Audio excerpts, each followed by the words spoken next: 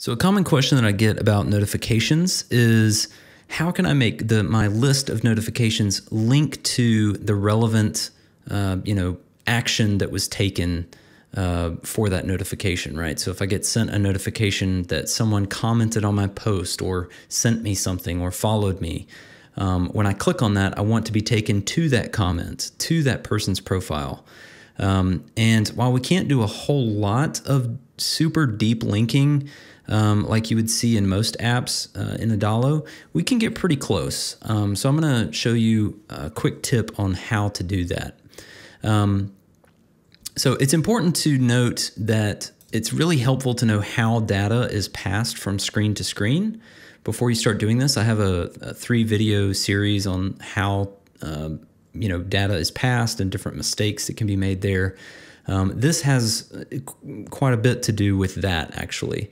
Um, so when we click on a notification, um, we want to be taken to this person's uh, or, to a post. Maybe let's say that we've got you know a, a post that someone commented on, right? So here I've got you know uh, this button here is creating the notification, you know, telling them okay, hey, so and so commented on your post.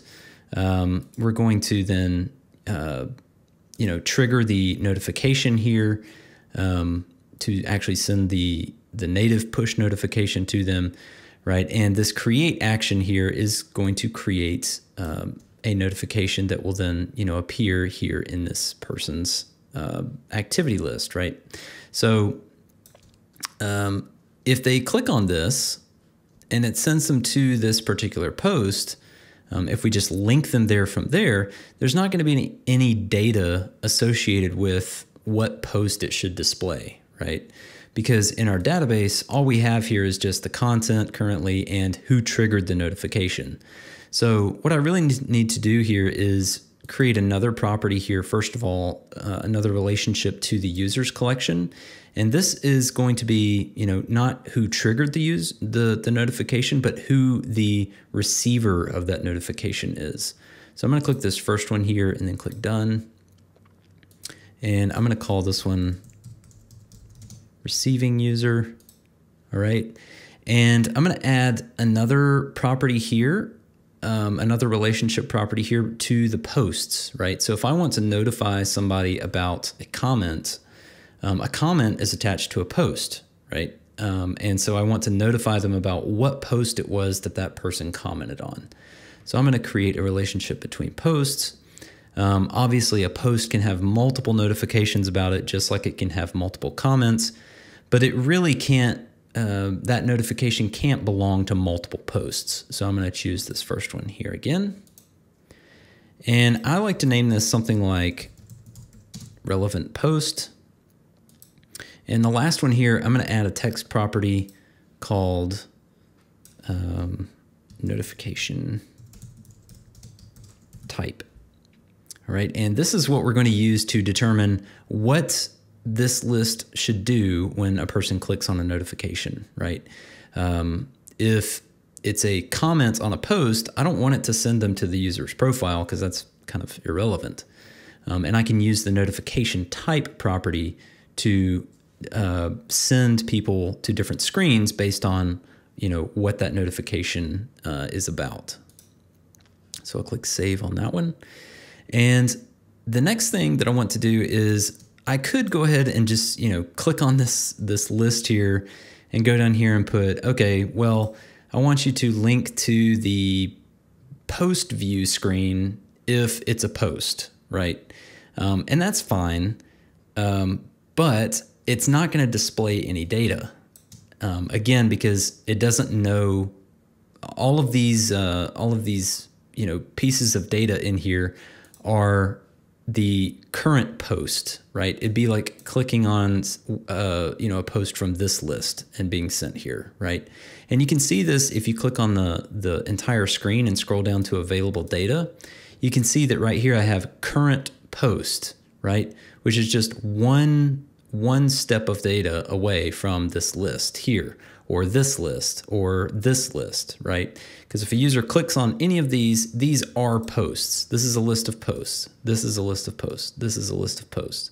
So when it's displaying the data on the screen, it's just displaying whatever post they clicked on, right?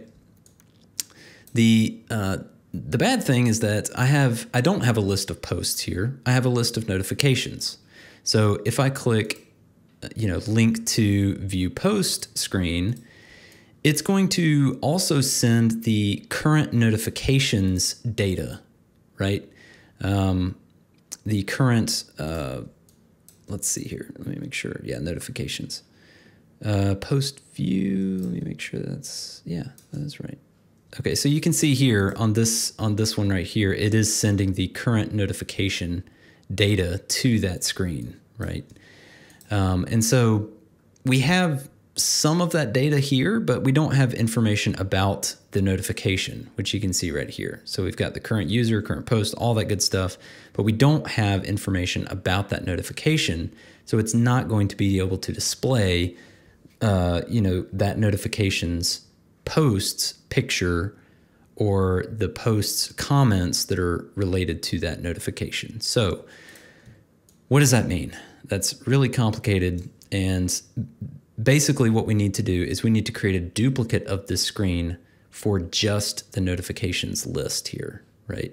So what I'm going to do is I'm going to come over here and create a copy of this entire screen, right?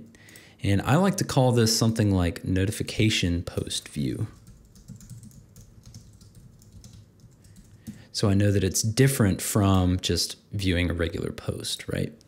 Now, the the interesting part here is that um, we've still got some, you know, uh, linking to different places. Like if you click on this person's username, it links to their profile. That's fine, right? We can leave things like that alone. But what I want to do and what you'll see is when I list this or when I link this notification list to this new notification post view screen, you'll see that the flow of data has changed. I no longer have any information on this notification post view about a post at all. All I have here is just the current notifications information. So what I need to do is I need to go in here and change all of the linked data on this screen to uh, reflect that. All right, so the username in this case, right, this is going to be different, right? This is not the current post's user's username. This is now something completely different. This is now the current notifications, uh, you know, posts, relevant posts, creators um, username, right? Uh, let's see, where is it? Posting users username, right? So our flow has changed drastically. We're no longer just the current posts creating user. We're now the current notifications relevant posts creating users username, all right? And that has to be true for all of these different things here. Again, this is not the current posts user's profile pic. This is now the current notifications relevant posts uh, posting users profile pic, right? So we just added this massive layer of data um, onto this, right? Same thing with current post image. It's not that, it's the current notifications relevant posts image, right? So we're going through we're, we're going through the notifications collection to get this data about this post, right? Whereas with this other one over here, we're just looking at just the posts collection, right? We're just pulling directly from this collection. Um, and so that's kind of what has to happen um, anytime we want to display, um, you know, data from this. Now, uh, the other part of this is that I really only want to link to this notification post view screen if the, you know, I'm going to add some conditional actions here and say this is only going to happen if you know the current notifications notification type is equal to uh, post right? Or something like that. Uh, or comment right? Even. Um, so um, and that value that notification type you'll want to set that down here when this uh, comment is actually created or when this notification is created. So down here, I've got, you know, the receiving user is the is going to be the current post's posting user. The relevant post is, of course, the one that I'm looking at. And the notification type, um, again, you can make this whatever you want. It just needs to match here and up there, right? So that you can validate what it should do. All right. So um, now we've got it kind of a setup so that uh, if they click on a notification, uh, it's going to send them to this new screen that we have here, but it's only going to do that if the notification type is, you know, a comment, a post, things like that. So um, I hope that's helpful. Uh, just make sure that you do that for each type of notification that you want to to send them to, right? You would do kind of the same process here for a user profile if someone follows them.